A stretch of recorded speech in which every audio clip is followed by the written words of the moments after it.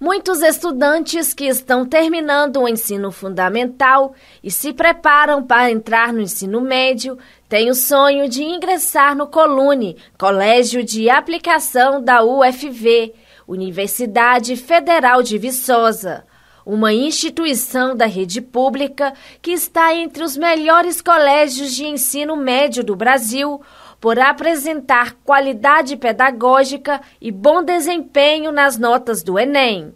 Bárbara Dutra, professora de biologia de um cursinho preparatório de Caratinga, diz haver uma boa diferença entre essa forma de ensino e aquela oferecida pela escola regular, na hora de buscar capacitação para aprovação no Colune. Nós ficamos muito felizes que foi um número de aprovações muito alto e eu acho que assim, um dos segredos para o cursinho, né, é ter aulas que já são montadas de acordo com o edital, porque o edital, ele já, nós já temos um edital dos outros anos que geralmente se repete né, em todos os anos. Então, as aulas são montadas com foco nesse edital e nos tipos de questões também.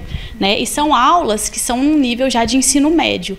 Né? Como os meninos falaram, é, elas têm aulas de ciências durante, igual no meu caso, tem aulas de ciências durante o ensino fundamental, mas não é tão aplicado quanto é, as aulas que elas precisam para poder resolver um tipo de prova dessa. Né? Então, são aulas que precisam ser bem focadas mesmo no conteúdo, né? Umas aulas mais aprofundadas também nesse conteúdo, que geralmente para o ensino fundamental nós não abordamos, e também é, a resolução de exercícios, né? Que durante as aulas nós resolvemos bastante exercícios com eles, que são exercícios que são é, das provas anteriores e também que são parecidos com das provas anteriores. Esta é a caratinguense Maria Eduarda Soares, um dos quatro alunos de um cursinho preparatório de Caratinga, que também estudam na rede pública e foram aprovados no Colune. Ela se dedicou durante todo o ano aos estudos e também se preparou para combater a grande vilã dos estudantes, a ansiedade na hora da prova. Já cursando o primeiro ano do ensino médio na cidade, terá que repetir os estudos no Colune, mas garante que vai valer a pena. Eu acho que com certeza foi o foco nas aulas e levar a sério todo o conteúdo que é passado e também não só buscar não tentar me desgastar tanto e fazer conciliar o estudo com atividades prazerosas eu fazia vôlei, fazia um esporte, né? E também o acompanhamento psicológico, que fez muita diferença, principalmente na hora da prova. Olha, é, em casa não sobrava tanto tempo para estudar por conta das atividades da escola, por novo ensino médio, muitas matérias e muitos trabalhos. Mas assim, o tempo que tinha, eu usava somente o que eu tinha dificuldade, o que eu não tinha conseguido entender. Mas o meu foco mesmo era nas aulas e tentar perguntar, questionar e realmente não sair da aula com nenhuma dúvida. Em questão de idade, eu não vou ficar tão atrasada, eu vou voltar para a média normal.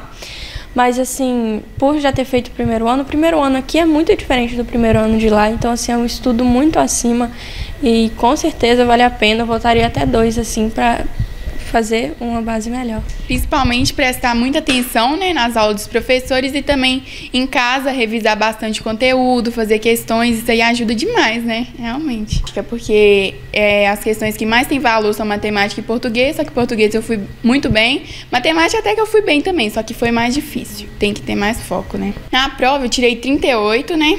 E na redação tirei 11,20, porque para mim foi um tema mais puxado, mas foi até que uma nota boa. Ter bastante foco na hora das aulas, revisar as matérias que você que você aprendeu na escola e talvez no cursinho, caso você escolher fazer em casa, porque ajuda demais. E também manter a calma na hora da prova, porque não é nenhum bicho de sete cabeças, você não vai perder sua vida por conta dessa prova, você tem que colocar isso na sua cabeça e como objetivo. Mais fácil para mim foram as questões de humanas, porque realmente eu revisei bastante a matéria. E o mais difícil para mim foi o tema da redação, porque eu esperava algo totalmente diferente do que foi.